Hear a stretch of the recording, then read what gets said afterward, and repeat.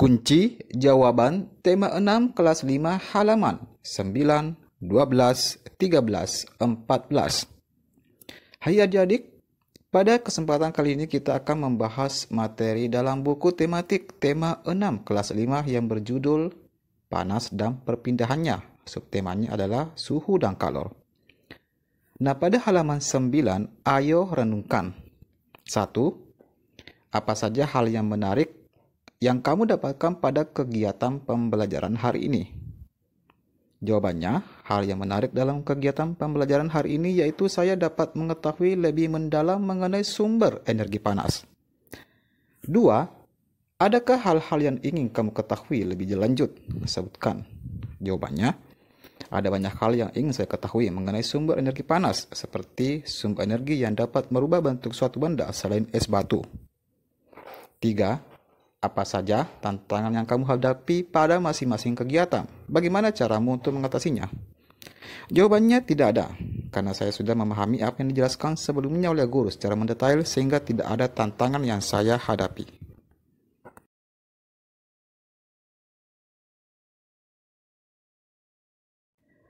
Kemudian, kerja sama dengan orang tua. Bersama dengan orang tuamu, amatilah apa saja kegiatan yang memerlukan energi panas dalam jumlah yang banyak. Jawabannya, proses pembuatan garam menggunakan sinar matahari, menjemur hasil panen padi menggunakan sinar matahari, pemanfaatan energi listrik menggunakan tenaga surya atau sinar matahari, proses fotosintesis pada tanaman yang menggunakan energi panas dari matahari, dan lain-lain. Kemudian pada halaman 12, ayo menulis. 1. A. Bacalah kembali bacaan di atas dengan sesama. Kemudian jawablah pertanyaan berikut ini. 1. Apa judul bacaan di atas? Bacaan di atas berjudul perbedaan suhu dan panas. Kemudian dua, tuliskanlah kata-kata kunci pada setiap paragraf di atas. Paragraf 1, indra peraba, panas, dan dingin, derajat panas. Paragraf 2, suhu besaran. Paragraf 3, panas, energi, termometer, kalorimeter. Kemudian ketiga, buatlah sebuah pertanyaan dengan menggunakan kata kunci yang kamu tentukan dari setiap paragraf pada bacaan di atas, lalu mintalah temanmu untuk menjawabnya. Contohnya, mengapa air raksa pada termometer dapat naik dan turun? Kemudian soal keempat, buatlah paling sedikit dua pertanyaan tentang bacaan yang ingin sekali kamu ketahui lebih dalam.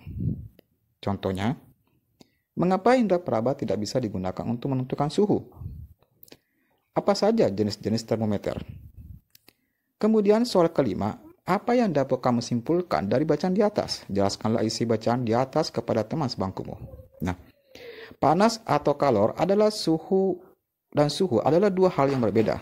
Suhu adalah besaran yang menyatakan derajat panas suatu benda. Suhu suatu benda menunjukkan tingkat energi panas benda tersebut. Satuan suhu yang digunakan di Indonesia adalah derajat Celcius. Alat untuk mengukur suhu disebut termometer, sedangkan energi panas merupakan salah satu energi yang dapat diterima dan dilepaskan oleh suatu benda. Satuan panas dinyatakan dalam kalori dan diukur dengan kalorimeter.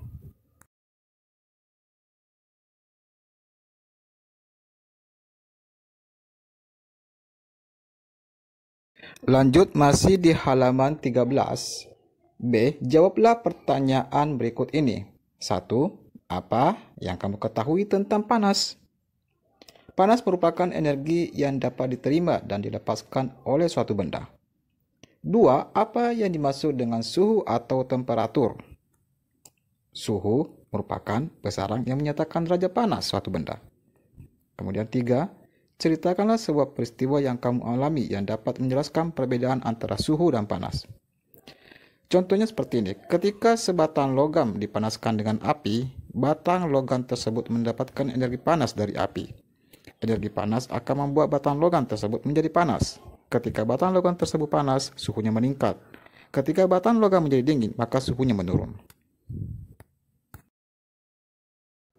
Masih di halaman 13, Berdasarkan pemahamanmu terhadap bacaan di atas, lengkapilah tabel berikut mengenai perbedaan antara panas dan suhu yang kamu ketahui.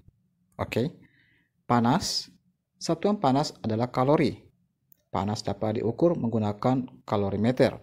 Panas dapat berpindah dari satu benda ke benda lainnya. Kemudian suhu, satuan suhu adalah derajat Celcius, Reaumur, Fahrenheit, dan Kelvin. Suhu dapat diukur menggunakan termometer. Suhu tidak dapat berpindah namun bisa naik dan turun. Kemudian pada halaman 14, tuliskanlah kesimpulanmu tentang panas dan suhu dengan menggunakan kata-katamu sendiri berdasarkan kegiatan pembelajaran di atas. Panas merupakan salah satu bentuk energi yang dapat diterima dan dilepaskan oleh suatu benda, sedangkan suhu merupakan suatu besaran yang menyatakan derajat panas suatu benda.